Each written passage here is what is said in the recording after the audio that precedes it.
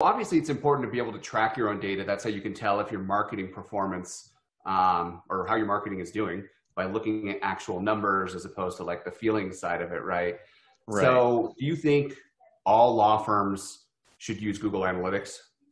Yeah, I mean, absolutely. The, the answer is yes, hands down, no questions asked. Um, it should be the foundation of your assessment of your marketing. Um, and, and, it really, and, unless of course the your website isn't the foundation of your online presence, which is a different problem altogether. Um, mm-hmm. But but it's really uh, and, and and the way it can bring data from other sources in makes it a, a, a nexus of information for you. So there's there's really no excuse for not having GA on your site, and actually reviewing that data. So one of the problems that we often find with law firms is like, yep, I've got Google Analytics. Well, let's log in and look at it. I don't know how to log in.